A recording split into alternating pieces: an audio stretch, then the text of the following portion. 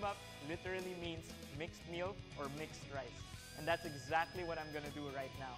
I'm gonna mix together two cultures that we love so much. I'm making bagoong rice bibimbap. It's a merry mix of bagoong, white rice, pork, carrots, green mango, bean sprouts, kangkong, and egg. I know, it sounds freakishly awesome. So let's not wait. Let's start. First, I'll heat up the pans, and then I'm gonna slice the toppings. So I'll start with some green mango. It's the perfect complement to bagoong. I'm gonna slice that thinly.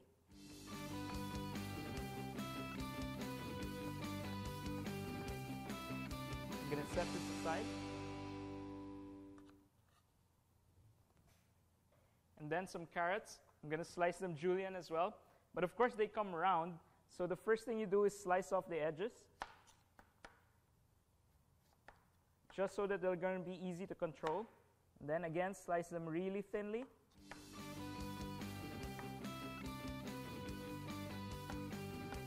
And I want all my toppings to be thin or julienne because I want the rice to be the star of the dish. I don't want to overwhelm it with all the flavors of the toppings. I'm going to set that aside as well. And then we're going to start sauteing. So I've got a pan here. All I need is a little bit of vegetable oil.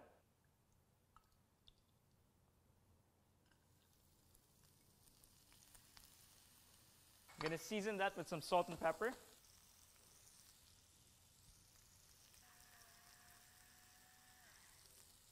Just toss this around. Why not get a workout while cooking? So since I cut this julienne, this is probably going to cook in about a minute or two. We want to still keep it nice and crisp. Okay, I'm going to get a plate. Just going to set it aside. Then some bean sprouts, just dump that all in. And again, season it with salt and pepper.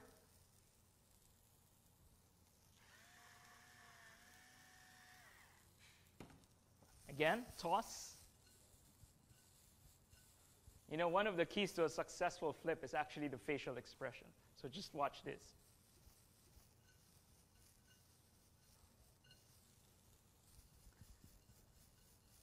I'm going to set this aside. Just a little bit more oil. And then we're going to cook our kangkong leaves. Again, season with some salt and pepper.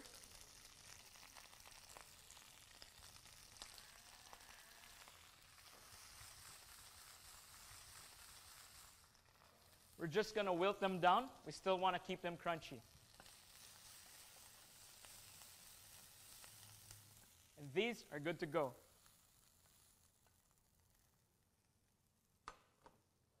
So I've got a traditional Korean stone bowl here. And this is where we're going to cook our bibimbap. First, some pork belly.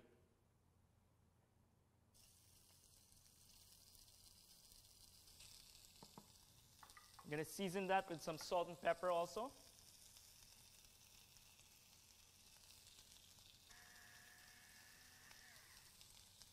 We're just going to let it sear and color on one side. So these Korean bowls are actually easy to find. Just go to any Korean restaurant that has a market at the back, and they usually sell this. So let's mix this up. And then I'm going to add some garlic, make it really fragrant.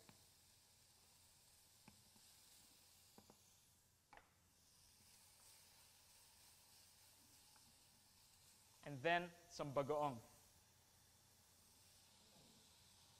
Now you can use any flavor of bagoong you'd like.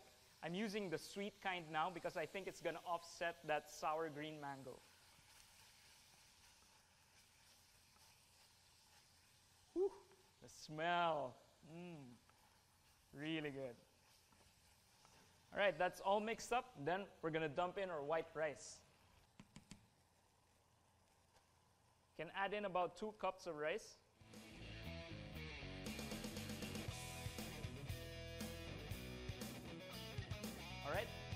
This up.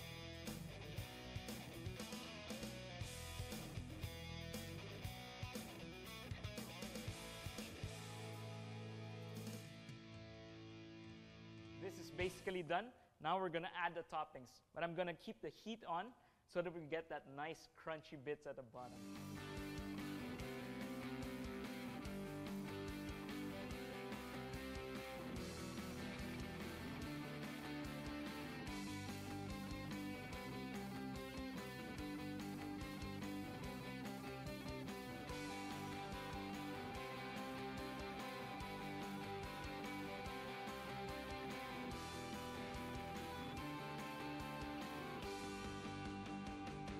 Bibimbap, time is of the essence, so I've got to taste it now.